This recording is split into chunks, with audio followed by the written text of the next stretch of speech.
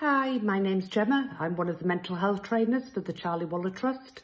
Just wanted to share some tips around uh, Mental Health Awareness Week and the importance of movement. Uh, for me, it's definitely been uh, a challenge to kind of weave into my working week uh, exercise and movement. Uh, it's something that's taken a lot of uh, planning uh, and setting aside that time.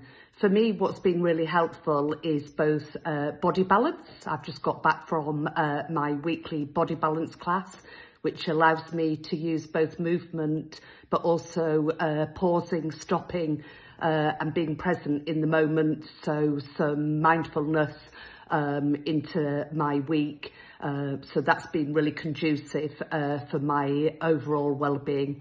And another thing that I now do uh, to look after my well-being is uh, to swim.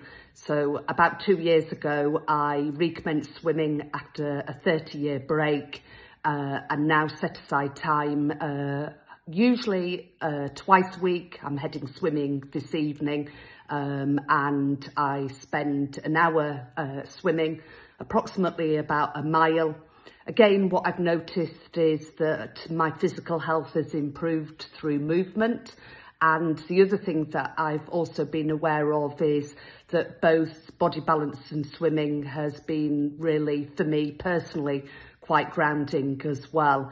Um, so what I would say is, you know, if you're thinking about introducing uh, some movement into your day or your week, just allow yourself some time to really think about what will work for you. So for me, joining the gym just wasn't something that I'd want to do. I tried it several times uh, and kind of found myself not enjoying it.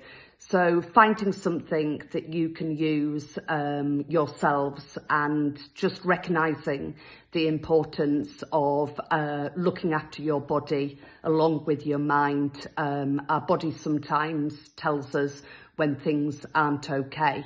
And I found uh, just kind of spending uh, at least two, three hours a week doing exercise and moving in the way that I really enjoy uh, has been really helpful. So that's just a little bit about me and uh, the value uh, and importance of movement.